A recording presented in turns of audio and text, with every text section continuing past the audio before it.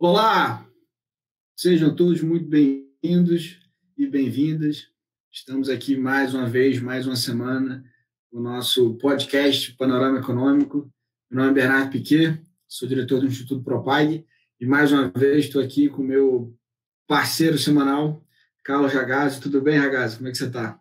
Tudo bom, Bernardo. Salve, salve. Maravilha.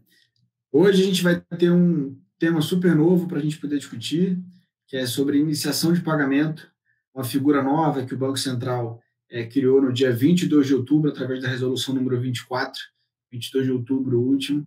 Então, super, super quente, mas ele naturalmente está dentro de um contexto é, de agenda de inovação, de transformação da rotina e dos serviços de pagamentos no Brasil. Então, certamente vocês vão conseguir capturar boas referências de tudo que a gente vem conversando ao longo das últimas semanas sobre toda essa agenda BC Hash e todas essas implicações da nossa rotina nos serviços de pagamento. A gente está entrando na reta final do ano, essas agendas estão todas saindo do papel, é, vários serviços sendo implementados, naturalmente muitas dúvidas na medida em que as datas de, de iniciação dessa regulação começam a valer.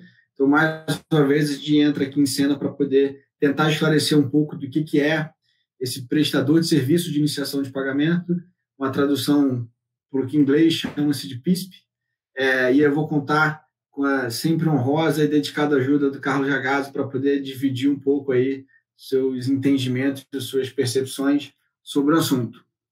Então, Ragazzo, queria começar naturalmente te provocando para poder explicar o que é esse serviço de iniciação de pagamento é, e onde é que ele se encaixa com a agenda de Open Bank que a gente vem discutindo aqui ao longo das últimas semanas?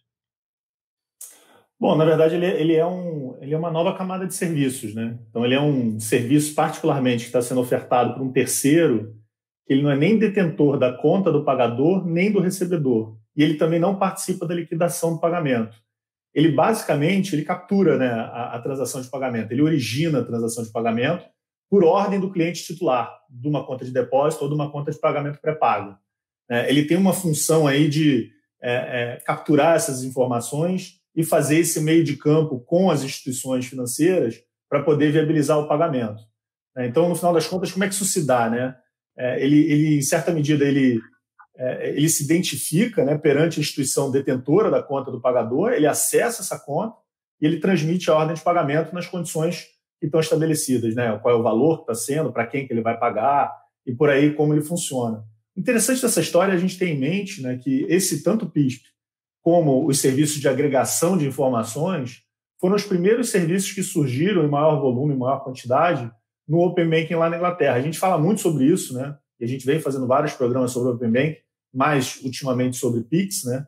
E as coisas estão, em certa medida, muito relacionadas. Mas o que é importante ver, assim, ele é meio que um primeiro passo, né? Ele é um, é um primeiro movimento no sentido do Open Bank, de você começar a ter determinadas operações que são feitas fora da plataforma da instituição domicílio do, do, de um determinado cliente, de um determinado é, é, membro que tem uma, enfim, uma conta depósito. Esse é o primeiro passo né, para você começar a andar na direção do Open Banking. Maravilha. Acho que tem uma conexão clara, né? Na medida que o Open Banking disponibiliza os dados, é, vale sempre reforçar com consentimento expresso e cristalino do, de quem os detém, do, do usuário final, é, permite com que outras empresas possam prestar serviço, uma vez que esses dados podem ser compartilhados, e mais ou menos nessa linha que, que o PISP surge. Né? E aí, pegando um pouco o gancho e aterrizando um pouco mais nas funcionalidades, é, traduz para a gente como é que você percebe que esse PISP funciona e quais são as aplicações mais comuns. Assim, como é que na, no dia a dia a gente pode perceber é, valor agregado no surgimento de uma, desse novo personagem das histórias de pagamento no Brasil, que é o PISP? Eu acho que a gente está vendo em situações que a gente já lida no dia a dia né, do, dos, dos, aplicativos. Né? Então, você vê os aplicativos de mobilidade, os aplicativos de delivery. Né? Basicamente, é, você vai enfim, fazer um pedido, vai encomendar alguma coisa, é, e você vai poder fazer, por exemplo, pelo aplicativo do próprio estabelecimento. Né? No pagamento tradicional, ele tem que ir até o aplicativo da instituição onde você tem a conta ou você utilizar o cartão. Né? Com o iniciador de pagamento, você pode ir direto no aplicativo do restaurante, que, por sua vez, pode conectar do restaurante, do delivery, do qualquer, enfim, é, de qualquer coisa que você está acessando para comprar algo, para você se conectar a um único iniciador de transação de pagamento, para ele ordenar a instituição no qual você tem conta para efetuar o pagamento. Então, assim, é, é basicamente, e a gente estava falando sobre isso um pouco antes da gente entrar aqui no, no podcast, é, é, basicamente uma situação onde você vai melhorar a experiência de pagamento do cliente. Né? Você vai fazer isso de uma forma que esse iniciador de pagamento vai ser um que a gente chama de um software bridge, né? entre o site do comerciante né, e a plataforma bancária online de um usuário de serviço, e ele vai fazer essa comunicação para que o dinheiro possa ser transferido da conta do sujeito que está querendo fazer um pagamento para o estabelecimento no qual ele está efetivando a compra. Então, assim, ele basicamente é muito importante para esse. Ele, ele, monta uma nova infraestrutura bancária para pagamentos online. Né? Então, ele torna ele, em tese, a gente está esperando, né, mais rápido e mais simples para o comerciário, para o beneficiário, né? e de um outro lado, ele pode ser mais barato também para o comerciante. Né? Então, no final da, da, das contas, ele faz assim esse meio de campo, né? para a gente tentar trazer isso de uma forma mais clara para o pessoal que está escutando a gente. É, eu acho que tem, tem um efeito super bacana, positivo nessa história, é, que talvez esteja o aspecto da novidade aí, que ele separa o prestador de serviço da conta, por exemplo, vamos usar a conta como uma referência aqui, essa infraestrutura onde está hospedada, o recurso propriamente dito, e a outra coisa é, é quem oferece é, a camada de experiência ali do serviço e sobre o qual você utiliza o dinheiro. Então, no limite, você pode ter um internet banking comum, a despeito de você ter vários bancos através desse serviço, é, que é a ponte, você fazer comandos em suas diferentes contas, é, o que torna, eventualmente, a usabilidade muito melhor, reduz atrito, fricção se você quiser mudar de uma conta para outra, facilita na gestão financeira. Então, naturalmente, tem uma série de, de, de consequências positivas que se esperam é, do surgimento desse PIS, porque você consegue comandar de um, uma sala de controle, vamos chamar assim, é, de um prestador de serviço, contas distintas suas, é, o que facilita muito o seu, seu acesso à gestão dos seus recursos. Né? Então, é, e, e para o pessoal de casa, né, pra, enfim, só para complementar o que você está dizendo, né, ele tem que se conectar com o consumidor, né, e ele tem que obter né, a validação, o consentimento do consumidor para que ele possa entrar em contato com a instituição bancária domicílio do consumidor e poder fazer essa transação. Né? E da mesma maneira, ele também tem que ter algum tipo de acordo com as empresas para poder iniciar os pagamentos das contas dos consumidores que acessam esses estabelecimentos a favor dele. Então, tem, tem esse, esses dois lados. Né? Ele é uma ponte mesmo. E ele tem que obter dados e consentimento de ambos os lados para ele poder fazer essas transações. É, a gente percebe muito esse movimento de desempacotar serviços financeiros né, permitir com que você acesse aquilo que você julga ser o, ser o melhor de cada um prestador de serviço, e podendo ainda interligar e costurar isso com, com alguns prestadores de serviços centrais, que potencialmente pode ser um PISP, por exemplo, que te permite usar o melhor de cada conta e você fazer esse comando dentro de um serviço só. Toda vez que você tem a concorrência sendo motivada e questionada, você querendo, derrubando essas barreiras é, que porventura a regulação tenha, tenha, tenha imposto, você tem uma expectativa de melhora de serviço muito grande, porque cada um, ou cada empresa que decidir é, empreender dentro desse segmento vai ficar atenta para um nicho específico, tentar atender demandas específicas desse nicho, as peculiaridades daquela, daquela rotina, daquele usuário, e aí vai diminuindo a fricção, trazendo mais gente para o sistema financeiro é, e tornando tudo naturalmente mais claro, que eu acho que é um efeito natural e positivo que se espera da, da boa concorrência. Né? E até tem um aspecto importante dessa, dessa discussão, que é a impossibilidade de aposta de quem ostenta, quem detém a conta, enquanto empresa, é prestadora de serviço, não poder diferenciar que tipo de comando vem, até para que você tenha esse tipo de incentivo posto é, para que a competição flua. Né? Isso, você não pode, você não pode discriminar né, uma ordem direta que vem do cliente de uma ordem que vem de um PISP. Né? Na verdade, é justamente é feito para você poder trazer condições é, competitivas iguais né, para esses dois modelos de iniciação de pagamento, quando é feito por um terceiro ou quando é originado pelo próprio cliente. E, e o que é interessante também, é, e que a gente tem que fazer essa conexão com o Open Bank, é que essa comunicação PISP e banco né, é justamente por meio da lógica do Open Banking. Né? Ele vai Sim. poder fazer as conexões, né, e essa lógica né, se dá via os APIs abertos que o banco vai poder disponibilizar para que ele possa fazer a comunicação da transação. É, é, é, e eu acho que isso é interessante, você estava falando um ponto que vale muito a pena, que é a experiência do usuário.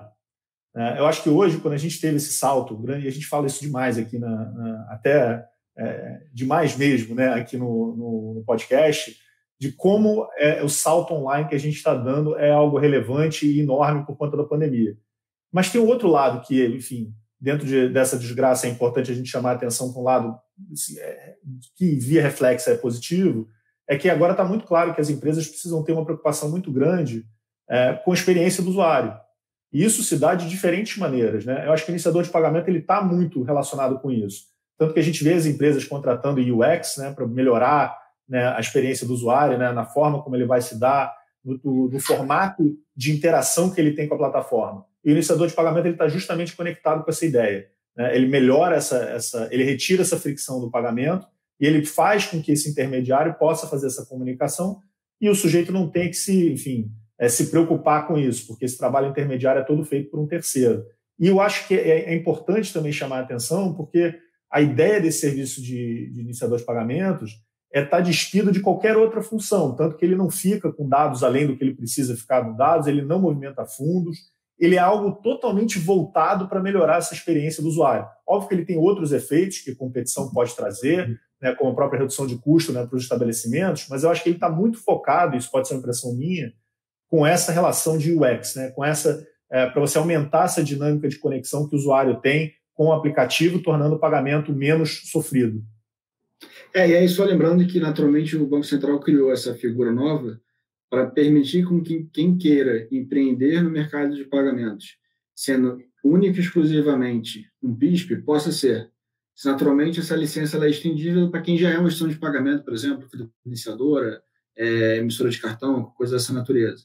Então, não significa que quem já está é, em jogo, quem já está concorrendo, quem já tem um negócio estabelecido no mercado de pagamentos, não possa acrescentar essa funcionalidade adicional e, eventualmente, na conta da sua instituição de pagamento X ou do seu banco X, você comandar um, uma ordem de transferência uma eventual segunda conta que você tenha na outra instituição financeira ou de pagamento. Então, só para deixar claro que essa figura nova ela é estabelecida para permitir com que aqueles que queiram ser apenas isso possam ser, sem ter um ônus regulatório adicional em função disso, mas naturalmente quem é já instituição financeira de pagamento e queira agregar essa funcionalidade também está autorizado a fazer. Então, abre ainda mais o leque de competição e acho que aponta para o horizonte bem próspero de melhoria dos serviços, na qualidade e de inclusão, que é um negócio que a gente vem discutindo muito. Né? É, é, é, que o apenas isso é, pode ser muita coisa, né? Porque a gente está pensando é. só na iniciação de pagamentos, mas quando você imagina que a iniciação de pagamentos pode estar tá, é, junto com vários outros perfis de serviço, então, estudando para a gente montar aqui para o podcast, a gente viu que exemplos de aplicação do PISP podem estar relacionados com ferramentas de gestão financeira, soluções de negócios, né, que você possa envolver, por exemplo, cobranças, né? Então tem, tem muita, acho que é só o início mesmo, né? Como a gente está olhando é, essa camada intermediária e o tipo de coisa que você vai poder agregar essa camada intermediária é muito grande, é muito diversificado e é até difícil da gente conseguir trazer alguma previsibilidade para agora. Então acho que essa, essa separação que o Banco Central fez, né, de ah não, é, o sujeito que já tem e tal, é tentar reduzir sim o custo burocrático, né, o ônus burocrático e o ônus regulatório associado à função, e também dando espaço, em certa medida, para você ver qual é o tamanho que ela pode atingir sozinha, né, e também é, é, vinculada né, ou agregada com outras soluções. É, acho que é super interessante, e naturalmente isso não surgiu aqui é, do nada, né? Como a gente vem conversando, tem movimento global para a criação dessas novas camadas de serviço, é, e de melhoria da experiência de pagamento como um todo, fruto da, da entrada da tecnologia no serviço financeiro. E, na tua percepção, o que, que tem de experiência internacional que contribui com o que a gente está vivendo aqui no Brasil, o que a gente está querendo viver com a criação de toda essa agenda positiva do, Banco Central? A gente é muito inspirado pela, pela experiência europeia, né? Então, com a diretiva europeia, a diretiva europeia de, de serviços de pagamentos, na PSD2, que a gente também já fez aqui no, no podcast algumas discussões sobre eles, eles acreditavam muito que esse novo tipo de prestador terceirizado ia ser é, um grande canal, um grande veículo de competição. Então, estava desde o início, como eu te falei agora no início do podcast. São dois grandes tipos de serviços que surgiram é, logo no início dos movimentos de Open Banking, sobretudo na Inglaterra. Então, era é, a parte de agregadores de informação, né, que foi o que cresceu mais, na verdade. Se você olhar desde janeiro de 2018 até hoje em dia, né, a gente tem dados até o final de 2019, né, foi o que mais cresceu. E a gente já vê aqui no Brasil alguns desses serviços surgindo, né, pré-Open Banking, pré essa definição do Open Banking, né? Eles pedem o consentimento, agregam as informações e tentam te entregar né, uma visualização diferenciada, e isso está acontecendo, por exemplo, para investimentos, e essa parte de iniciação de pagamentos. Né? A ideia disso é, é sim né, aumentar a variedade dos serviços. Né? Lá na, no, na situação europeia estava muito claro que tinha esse objetivo, que não era só a ideia de você iniciar, mas você também imaginar uma ideia nessa direção. Mas o que você viu também foram os próprios estabelecimentos fazerem white labels de pagamentos deles. Né? Então você vê muito o pessoal de varejo já colocando seus iniciadores de pagamento para tornar essa experiência do cliente melhor. Ah, esse, esse exemplo europeu, eu acho que ele vai se reproduzir aqui. Essa ideia de de soluções de pagamento em cooperação com varejistas online é algo que foi uma, um dos primeiros movimentos que você conseguiu enxergar lá fora e que eu acho que também a gente vai enxergar aqui. Eu acho que está super relacionado. É, eu acho que, como sempre, esse exercício de olhar para fora traz muito aprendizado para dentro. Né? É zero trivial fazer essas mudanças. Então, sempre que puder catalisar esse processo de aprendizado com, com as experiências de terceiros, que isso ajuda loucamente. E aí, pegando um pouco da percepção de quais são as vantagens e desafios de trazer isso para o mercado de pagamentos. Né? O que, é que você vê de, de, de, benefício, um pouco do que a gente comentou, mas especialmente o que, é que você vê de desafio nessa jornada? Acho que benefícios a gente tem uma ideia né, de, de custo, de agilidade e de possibilidade de diferenciação né, de serviços, né, como a gente estava discutindo até agora. Então, tem uma, tem uma perspectiva né, de que essas transações vão ser mais baratas que as que hoje existem via pagamento de cartão online. Né? Então, tem essa, essa ideia, e do outro lado também, e aí a depender de como isso vai ser implementado, tem uma expectativa também de que esse saque vai ser mais rápido e você vai, por conta disso, você vai trazer uma maior liquidez para os estabelecimentos. Então, tem esse, esse primeiro movimento que é relativamente muito esperado. Tem outro lado, que é uma ideia, enfim, a gente também discute isso aqui com muita frequência, a ideia de segurança. Né? Então, é, se você comprometer né, o PISP, se o PISP estiver comprometido, ele vai trazer muita segurança e, eventualmente, um problema de reputação com as empresas que trabalham com esse PISP. Né? Então, tem uma ideia também de cadastramento do PISP que é relevante né, para as pessoas terem segurança nos serviços que esse iniciador de pagamentos vai estar prestando para você. Então, é, é, tem gente já falando, por exemplo, sobre risco de dependência, né? se o PISP estiver em alguma forma é, indisponível, né? qual seria o impacto. Mas eu acho que esse risco de reputação ele é até maior, é, ele é mais claro, né? porque, em certa medida, você tem um lado relacionado a, a obter o consentimento e você está de acordo com as regras de proteção de dados, né, para você poder fazer a transferência, e tem o outro lado também né, de, dele garantir essas etapas de autenticação do cliente para estar tá em vigor. Então, acho que todas as empresas vão ter alguns estabelecimentos de due diligence né, para ver é, as questões de know your client, né, para poder ver é, é, como é que funcionam essas transferências necessárias para você poder fazer o serviço de pagamentos. Então, tem esse lado reputacional, que para mim é um dos principais desafios. Né? Como você vai garantir que o iniciador de pagamentos vai estar up to the task?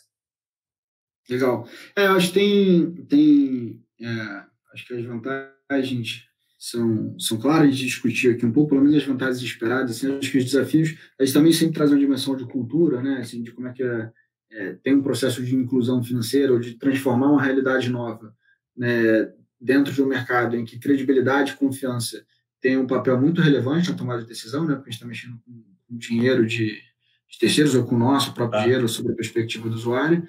Mas eu, particularmente, sou bastante otimista com essas mudanças. Acho que o caso que você comentou de empresas que, inclusive pré-Open Banking, é, lançaram seus serviços de agregador de informação e quando a gente fala que tem pré-Open Bank, você não tinha um protocolo para o compartilhamento dessas informações. Né? Vários dos usuários tinham que disponibilizar, por exemplo, a senha da sua conta do seu Internet Banking para essas empresas de tecnologia, que não eram propriamente empresas de pagamento, que faziam a leitura dos seus extratos, das suas informações bancárias e te entregavam em formato de relatório, em formato de orientação, com informação com valor, com serviço muito maior. Mas só o fato de as pessoas se disponibilizarem a entregar é, suas senhas gera um indicador de quanto ah. as pessoas estavam querendo ser atendidas, de quanto é elas estavam querendo ser, é, quanto elas tinham essa demanda, né, por um atendimento melhor ou por informações mais completas sobre suas próprias, sua própria realidade financeira. Então, empresas como essa que a gente está mencionando, que pré-obviamente já tinham 3, 4 milhões de usuários nesse modelo, que era um modelo incipiente, que certamente vai poder ser aprimorado com o P-Banking, mas acho que era um retrato claro da demanda é, por esse tipo de serviço e por esse tipo de valor adicional na conversa, na, na utilização sobre pagamentos de maneira geral. Né? E aí, para a gente encaminhar aqui para a reta final, entender um pouco de você, qual que é o, o estágio é, do PISP aqui no Brasil. Como é que está essa regulação aqui? Qual é a tua perspectiva é, de próximos passos? É, a gente acabou de ter né, uma regulação do Banco Central agora, final de outubro, né, e basicamente a ideia dele é, é trazer uma necessidade de autorização, ela, esse processo de autorização para as empresas que vão prestar serviços de iniciação de pagamento, ela é mais simples, né, sobretudo se tiver só relacionada exclusivamente a essa modalidade, como você falou no início é, do programa de hoje, né? Se você já tiver autorização para serviços de pagamento de uma maneira geral, você não vai precisar de uma específica é, para iniciação de pagamentos. Tem uma dúvida, até de conversar com pessoas do, do setor, é, o quanto isso vai representar é, de uma certa fila para autorização. Porque, como o valor específico para você ter que obter a autorização não é tão alto assim, talvez você tenha um número muito grande de iniciadores de pagamento buscando autorização. Né? E, em certa medida, você tem já isso é, no mercado, essa ideia de você iniciar pagamentos. É que hoje esse negócio funciona com uma outra lógica via cartão, né? Então, assim, é, como você vai mudar esse fluxo, eu acho que o Banco Central ele, ele, ele pode ter é, trazido para ele uma responsabilidade de autorizar um número muito grande de empresas, mas isso é só uma percepção, não dá para ter clareza sobre isso nesse momento. O que ele está fazendo é seguindo o modelo europeu, porque ele precisa ter algum grau de transparência sobre todos os movimentos que estão acontecendo no mercado. Então, se você tem uma movimentação acima de determinado valor, acima de determinado montante, ele quer te enxergar.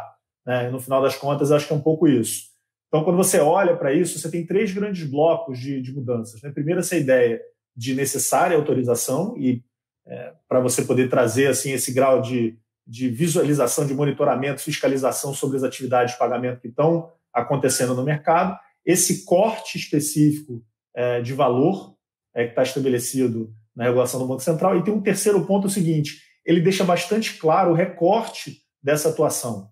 Então, ele fala muito bem sobre né, o que não vai poder é, é ter acesso aos fundos, né, ele só vai fazer a movimentação. Né, é, e do outro lado, que é mais relevante ainda, é uma certa visão de proporcionalidade do dado que ele vai ter acesso. Né? Então, ele deixa bastante claro que você não pode ter dados além do que você deveria ter para poder fazer essas operações de iniciação de pagamentos. Acho que o que é interessante com base nisso é que o Banco Central não quer transformar essa iniciação de pagamento numa plataforma que, por sua vez, vai vender dados e vai poder se comunicar e agregar valor de outra forma. Quer focar exatamente nessa camada de serviço e na experiência do usuário. Acho super interessante. Tem, tem é super importante, isso pode ser um papo para um próximo podcast também, a gente conseguir dar um panorama, um mapa completo de mudança que a gente vem falando aqui meio faseado, né? Programa a programa, acho que essa visibilidade completa pode ser interessante. É, mas acho que assim, esse assunto do, do PISP, ele conversa com toda a agenda que a gente vem discutindo aqui, de Open Banking, é, de PIX, de agregador de informações, do exercício de maior inclusão financeira, de melhorar toda a camada de serviço. Mas acho que tem por trás um, um núcleo rígido de mudança eu acho que é desempacotar serviços financeiros, que foi um exercício que já aconteceu em várias outras indústrias em que a tecnologia se fez presente. É, a música, por exemplo, é uma delas, né? É, indústria de entretenimento de maneira geral. E aqui, no caso do mercado financeiro, não vai ser diferente. Então, vai permitir com que você acesse produtos e serviços ou empreenda com produtos e serviços naquela proporção que você julga ser necessário e que você quer se especializar. Então, acho que tem um, um desdobramento muito interessante para a gente acompanhar, para a gente discutir. E são cenas dos próximos capítulos. Por hoje, a gente vai ficar por aqui na nossa conversa. Acho que foi um papo super interessante sobre PISP. É, foi uma resolução recente, de 22 de outubro, então faz pouquíssimas semanas, basicamente 10 dias que isso foi lançado. Resolução 24 do Banco Central. Recomendo fortemente quem tiver interesse de tecnicamente se aprofundar que leia, mas tem bastante notícias relacionadas ao assunto circulando também. Dúvidas, sugestões, críticas ou comentários, como sempre, nos mandem, que a gente vai estar aberto e disponível para poder responder e contribuir com o entendimento de vocês, na medida do que não for possível. E no mais, estaremos sempre atentos e compartilhando conteúdo, informação e nossas percepções nas nossas redes sociais, Instagram, LinkedIn, no canal no YouTube, tudo com o nome Instituto Propag. Sejam sempre muito bem-vindos. Na semana que vem a gente está de volta. Ragazo, muito obrigado boa semana e finalzinho de feriado aí, que a gente se encontra na semana que vem. Tchau, tchau, gente. Tchau.